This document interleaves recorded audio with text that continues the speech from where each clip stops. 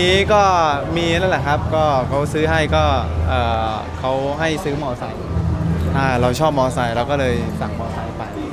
ใช่จริงๆที่แรกอะเขาไม่ชอบให้เราขับขี่มอไซค์เพราะว่าอันตราย เดี๋ยวเกิดอุบัติเหตุ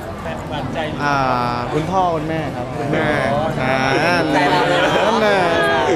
ใช่เขามาเอ้ยคุณพ่อคุณแม่ครับเขาเป็นห่วงครับพี่อุ๊บแหละครับก็ให้แกหางานนั่นแหละครับใช่ให้แกแล้วปล่อยแกไป มอเตอร์ไซค์คันนี้ขอนานหรือเปล่าครับอุ้ยนานครับ เพราะว่าคือเราจริงๆอะส่วนตัวเพชรชอบมอไซค์อยู่แล้วพอเราได้ขี่มอไซค์เราชอบเราสายแว้นอยู่แล้วเมื่อก่อน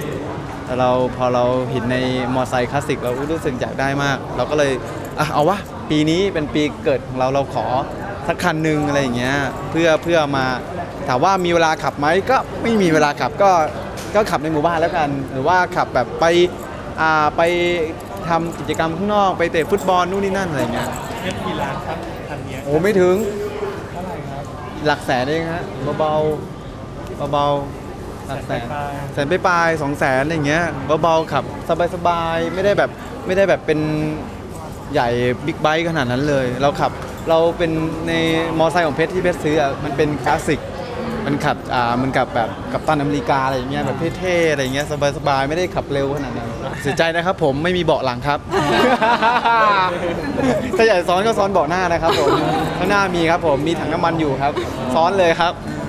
เริ่มถอยเมื่อไหร่ครับถอยออกมาเออก็รอรอรอรอรถอยู่ครับ เพราะว่ามันมันอาจจะส่งมารถต่อไป เป็นนำเข้าเหรอครับใช่ครับเป็นนำเข้า limited เลยใช่หรือเปล่า เออมันมันเพิ่งนำเข้ามาประเทศไทย บางคนอ่าอย่างที่บอกว่าบางคนแล้วแต่แล้วแต่มุมมองคนว่า เอ้ยตาดีตาเก่าดีกว่า ตาใหม่ บางคนก็บอกเฮ้ยตาใหม่ดีกว่าดูดูดูสดใสขึ้นแล้วก็ดูดูเด็กลงดูเด็กขึ้นอะไรอย่างเงี้ยเอ้ยพอตาเก่าเนี่ยมันดูเฮ้ยบางทีมันมันหล่อแต่ว่ามันมันอาจไม่ดูดีเหมือนเหมือนตาใหม่ พอตาใหม่พอพอได้ทำเนี่ยมันรู้สึกเข้าที่ละมันก็รู้สึกเวลาคุณมองมันเวลาคนมองอะหรือว่าแฟนคลับมอง มันมีมันมีความสะดุดแล้วก็แบบเอ้ยเออมันดูดูดูดีขึ้นเยอะอะไรอย่างเงี้ยแล้วและอย่างที่บอกครับว่า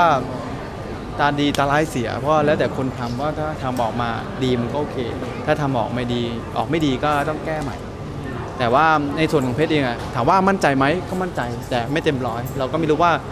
เออมันดีพอแค่ไหน แต่ขอให้ทุกคนเชื่อว่าไอสิ่งที่เราทำเนี่ยมันมันถือว่ามันดีกับเราแล้ว เข้ามาหน้าเราถามว่าแอบน้อยไหมก็เรามันมีอยู่แล้วครับ มันมีความแอบน้อยอยู่แล้วครับ แต่ด้วยความที่เราเนี่ยตัดสินใจไปแล้ว เราไอ้บ้างไหนไอ้สิ่งไหนที่เราเสพเราอ่านได้เราก็อ่านไอ้สิ่งไหนที่อ่าเขาติมาเราก็เราก็ฟังเราก็อ่านเราก็มาแก้ไขว่าตรงนี้มันดีไหมตรงนี้ไม่ดีโอเคไม่เป็นไร